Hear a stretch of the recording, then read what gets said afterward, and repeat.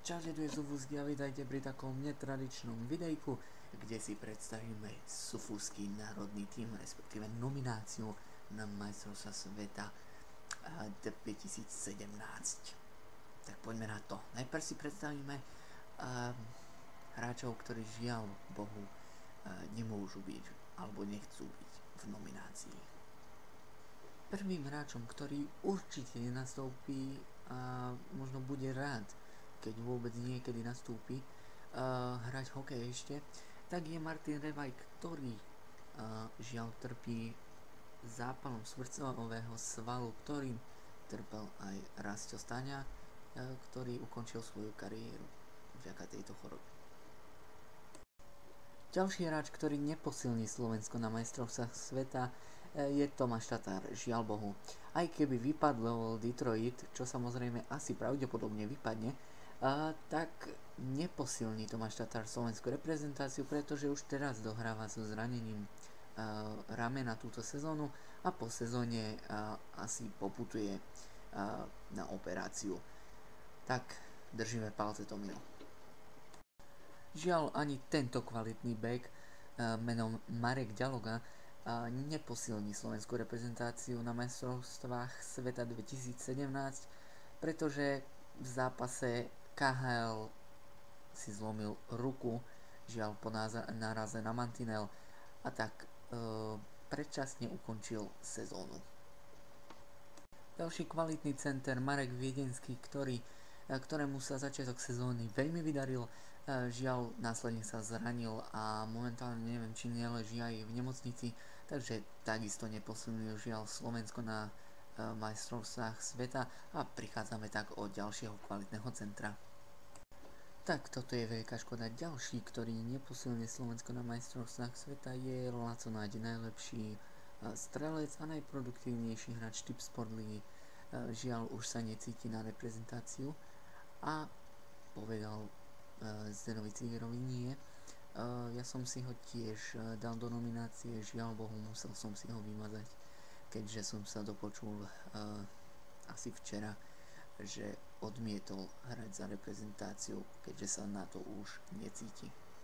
Takže títo hráči určite budú chýbať v našej nominácii, no ja som si vybral určite, musím povedať, kvalitných hráčov, takže poďme sa na to pozrieť spoločne a zhodnotiť to.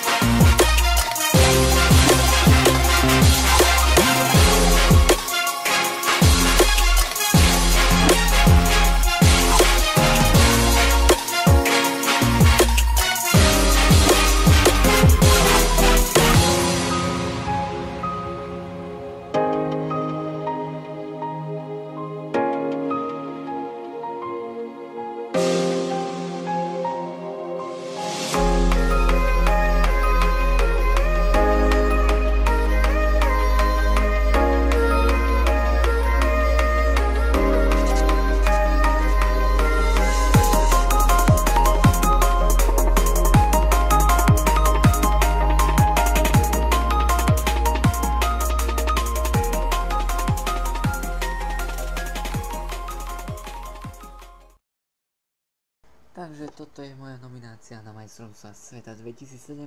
Ak sa vám nominácia páčila a chcete ďalšie hokejové videá, uh, tak zanechajte like a do komentu mi napíšte, aké uh, videá by ste uh, uvítali. No a uh, vidíme sa teda pri ďalšom videu. Čaute.